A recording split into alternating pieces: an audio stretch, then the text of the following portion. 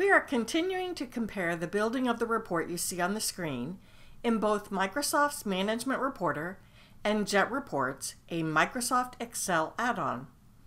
In Management Reporter, reports are built using rows, columns, and trees.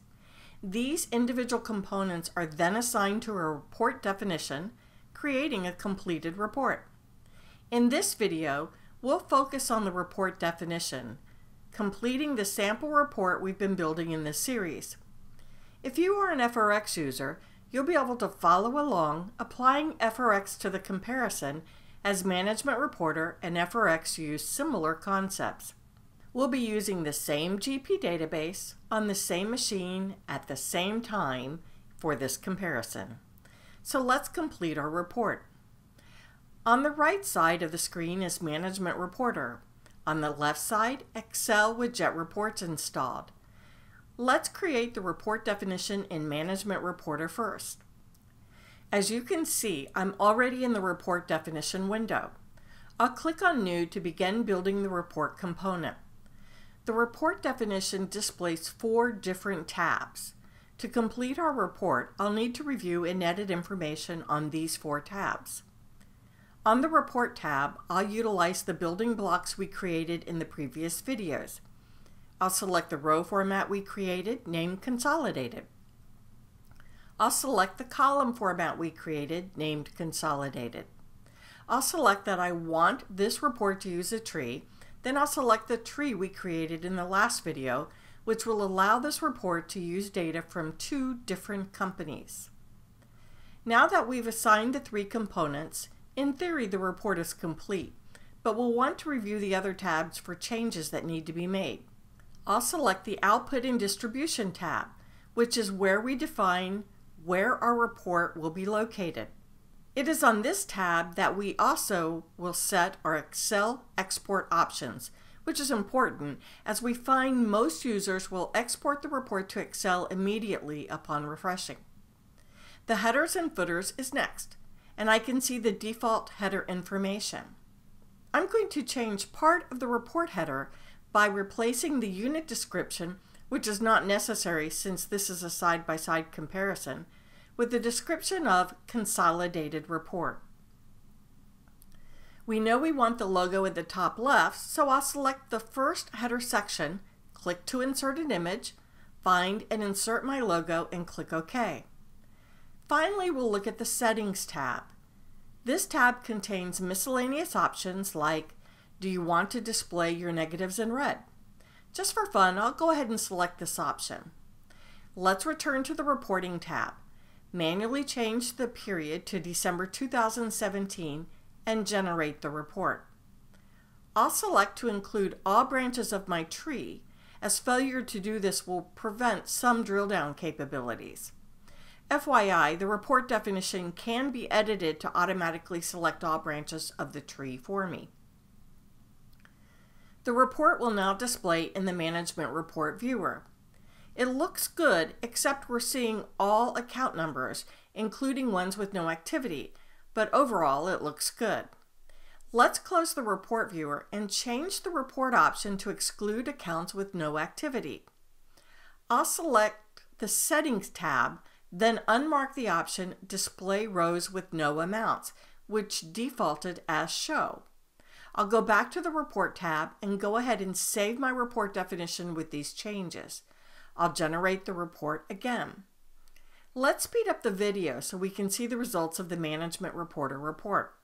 Here is our report displaying both companies and a combined column. Let's do the same thing in Excel with Jet Reports. I've already opened the report we've been building in the row and column videos. As you recall, there was nothing that needed to happen on this report in the tree video, as the selection of multiple companies was handled in the columns. First, let's go back to where we selected our fiscal year and our fiscal period.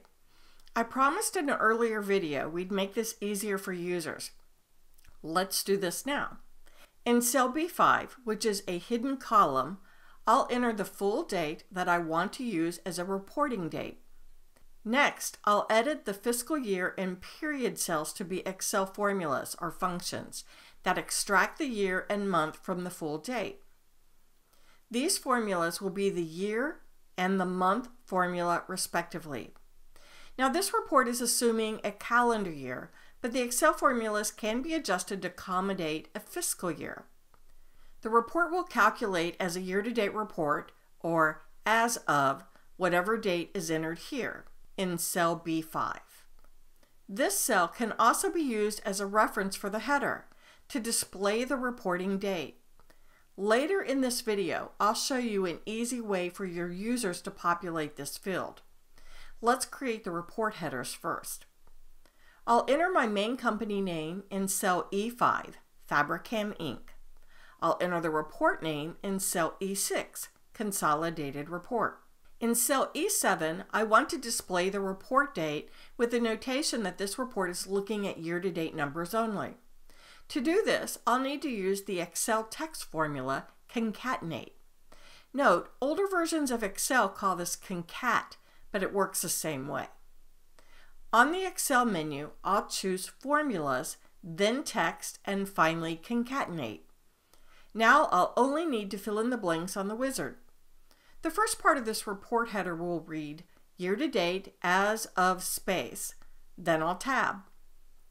On the next line, I want the reporting date, but if I just point to the cell where the date is located, I'll just see the number.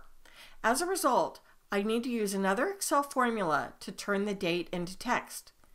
On the text2 line, I'll enter text, start parentheses, point to the date, comma, and then in quotes enter MMMM space DD, comma space YYY, end parentheses. You'll see the date appear to the right in the format that I want and the full result of the formula displaying below so I'll select OK. I already have the first line of the header formatted using simple Excel default formulas, so I'll just copy and paste the formatting to the other rows of the header. As we did in Management Reporter, let's add our logo in the top left corner. I'll insert pictures from my local files. This one is too big, so I'll simply resize it. Let's quickly refresh our report and see the results. This report looks good, except we're seeing all accounts like we did in Management Reporter, even ones with zero balances, so we'll need to hide those. If we scroll to the bottom of the report, we can see our results in our JET report are the same as Management Reporter. Let's scroll back to the top and hide accounts with zero balances in both companies. You may recall in a previous video, we added the JET keyword hide in cell B1 hiding column B. We also added a plus question mark at the end of hide. The plus question mark will review all the rows in column B. Any row with the word hide in column B will be hidden. This is how we'll hide the rows that contain zero balances for both companies. We will not review the result of the combined column. It is possible for Fabrikam to have a debit balance of $100, for example, and Gabricam to have a credit balance of $100, making the combined amount zero. In this example, we would want the row to display so the individual company details are correct. We'll use the Excel logical formula IF to review the value of the row. To create the formula, we'll start in row 10 where our sales accounts exist, choosing formulas, logical, and then IF from the Excel menu. In the logical test, we'll review whether the sales data for the first company, or cell F10, is equal to 0. JET will copy this formula to every row it creates in this cell section. If it is 0, the word hide will display in column B. If it is not 0, the word show will display in column B. I see the word show displaying for the first account, so I know this account will be displayed. Now that I have evaluated Fabrikam, I need to perform the same evaluation on Gabricam. Since column B is the only column where I can determine whether a row should be hidden or not, I'll need to combine the evaluation of both companies into the same formula. Combining two or more formulas is called nesting, and in Excel I can nest up to 64 formulas together. Fortunately, in this example, we only need two. I basically want the same formula, so I'll take advantage of copy and paste, copying the entire formula except the equal sign at the beginning to my clipboard. I'll open the function window back up by clicking on the FX in the formula bar. I'll then replace the true line with my formula in my clipboard. Now I'll need to make sure the true line is referencing the Gabricam data by changing the cell to G10. The formula now works like this. Is Fabrikam 0? If not, show the account. If it is 0, is Gabricam 0? If it is not, show it. Otherwise, hide the row. I'll copy the nested formula to the other rows that contain accounts. Let's do another refresh and see the results. Now our report is much easier to read, displaying only accounts with balances. Let's make it even nicer looking by removing the grid lines on the Excel worksheet by unmarking the gridline checkbox on the Excel view ribbon. It looks great. Let's go back to design mode. I promised to make the report date easier to use, so let's do that now. I'll be using a JET Professional function, but the same results can be achieved with JET Express. I'll explain more on that in a bit. I'll select the Report option icon on the JET ribbon. Just as an FYI, this option is dimmed out on JET Express. When the Report Options window opens, I'll enter Reporting Date in the title field. In the value, I'll enter the date we've been working with, December 31st, 2017. And now I have a new worksheet in this workbook called Option. If you are a JET Express user, you can manually create this tab or copy it from another report to achieve the same results. In the professional version of JET, lookup windows and tooltips can be added.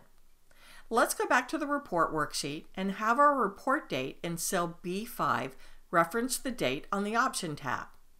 What does this do for me? Let's find out by refreshing. For each refresh, this pop-up window displays, asking me what date I want the report to use. To show you how it works, I'll change the report to November 2017 and click Run. Now my report is displaying for November. I'll refresh one more time, changing the date back to December.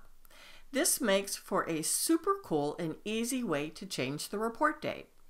One question that I get asked a lot is about drill down. Can JET be used to drill down into GP data so I could see where and how the amounts originated? The answer is yes with JET Professional. We know that Management Reporter can drill down to the account transaction level, so let's see what JET Professional can do. Click on the amount or cell where you want the drill down to occur. An arrow will appear right next to the cell and click on that arrow. The drill down will now appear in a pop-up window. Since this is year-to-date drill down, we see every account on this row and every period summary for this account. If I scroll to the right, I can see the GP table from which this data is being extracted. When I highlight an amount and double click, the individual transaction detail for this summary amount will open. Now, this is when Jet Drill Down gets super cool. Let's make this pop-up window bigger so we could see more. There is a lot of valuable information here, including master ID, master name, and document number if this transaction came from another module, like payables or receivables. Scroll all the way to the right and we can see that this data is coming from our open year transaction table in GP, which is GL 20,000. It gets better. I can sort on any of these columns by simply clicking on the column. This is Excel, so what if you want to filter to a single vendor like home furnishings? Easy. Click on the filter dropdown and select the desired vendor. Now your list only shows detail for just that vendor. The full or filtered list can then be exported to another Excel worksheet. The drill down in JET is one of my favorite features. The purpose of this video series is to simply compare the building of a report in Management Reporter to the building of a report in JET Reports. The JET Reports family has a lot more functionality than this video series shows, such as report scheduling, automated report distribution, version control, web tools, dashboards, advanced security, plus a whole lot more. This concludes the Management Reporter comparison to the JET Reports video series. Thanks for joining me on this journey, and as always, I hope this helps.